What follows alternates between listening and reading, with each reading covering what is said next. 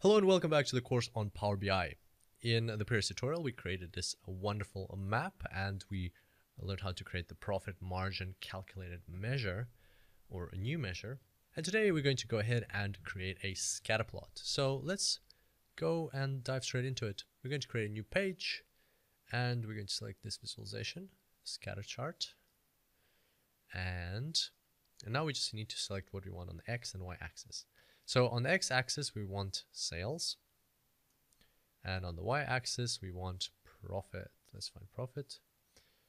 Yes. And as you can see, we only have one element because, once again, as we discussed in uh, the tutorial about aggregation, granularity, and level of detail, we haven't specified for Power BI at which level of detail or which level of granularity we want this visualization to be uh, displayed or portrayed uh, all we have here is the measures, right? So the items or the uh, numeric values.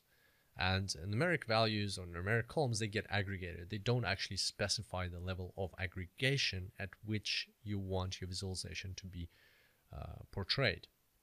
To specify the level of aggregation, you need to use categorical variables and other non-numeric variables.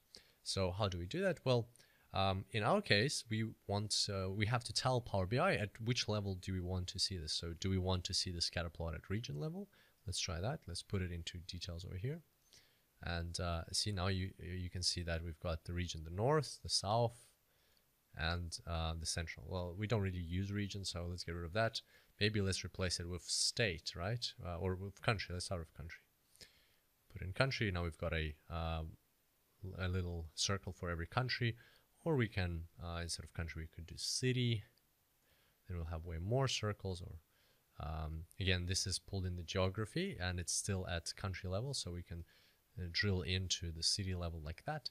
But that's not what we're after. The scatter plot that we actually want to uh, show uh, should display our customers so that from the scatter plot we can identify which of our customers are the most profitable or the least profitable customers for us. So let's go ahead and do that. We're going to take customer name and drag it into details.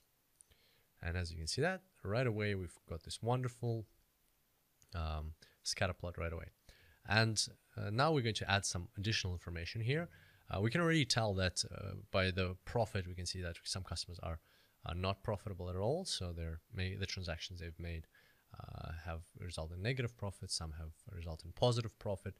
But now what we're going to add is we're going to add the profit margin. And we've already calculated this uh, measure. And as you remember previously, we used profit margin. So I'm just going to go back here.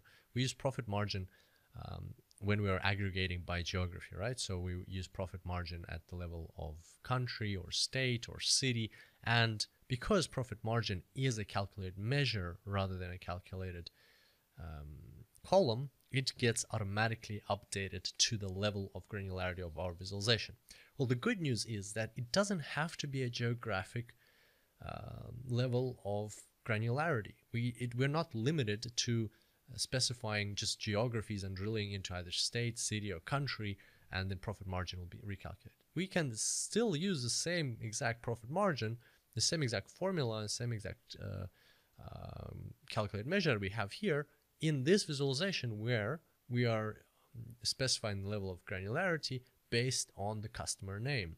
So if you just look at the formula up at the top, you'll see that sum of profit, uh, order breakdown profit, so sum of profit divided by sum of sales, nowhere here in the calculation does it say that we need to deal with geography. It just says that take the sum of the profit at the level of granularity of your visualization. So in this case, per customer. So sum up the profits per every single customer. And customers sometimes make several orders, and orders contain contain several items.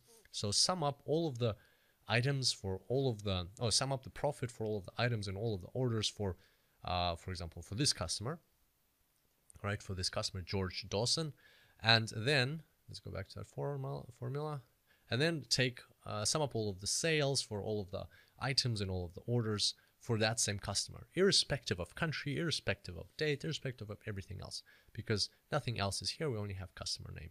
And then just divide one by the other. And that's exactly what we're going to, uh, that's exactly what's going to happen. And that's what Power BI is going to do for us. And uh, we're just going to use this field. We're just going to take this field and put it on color saturation. And voila, uh, already we have something. So now we're just going to make it uh, even more obvious which customers are um, have a uh, have a positive profit margin for us and which have a negative profit margin. And so we're going to take data colors and again we're going to choose uh, minimum red, maximum that same blue that we used last time. Uh, this one is the neon version of that blue. Um, let's try maybe this blue, too light. All right. so again, data science about it's all about the colors, right? It's all about the conveying the insights and making um, aesthetic presentations. All right, so there we see already something interesting. We can see that uh, we've got customers up here with positive profit margins, right? So the greater the profit margin, the better, meaning that at the same level of expenses, by doing business with a customer with a higher profit margin, for instance, here we've got a profit margin of 0.34, and with this customer, it's uh, 0.33. So with this customer, uh, by uh, uh, having the same amount of expenses, we're going to uh, or and conducting by making the same amount of sales, we're going to make a higher amount of profit with George Dawson than with Harrison Cook.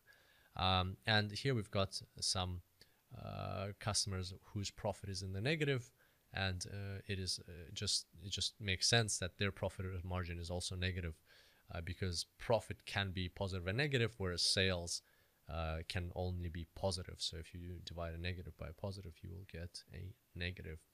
And uh, right away from here, we can tell you know which are our um, customers, like good customers, which whom we should continue doing business with, and who are the customers that are costing our organization money, and maybe we should, um, you know, like uh, try to improve that relationship and see what products they're buying. Maybe we should uh, substitute those products, or maybe we should find better ways of sourcing those products, or maybe we should just stop doing business with those customers if um, it is costing our uh, business uh, money, and if we can afford to do that from a reputational standpoint. So some decisions have to be made, but basically the insights are here uh, for us to uh, take action upon.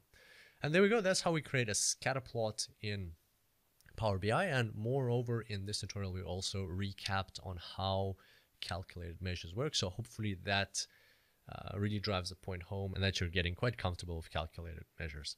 And I look forward to seeing you on the next tutorial. Until then, happy analyzing.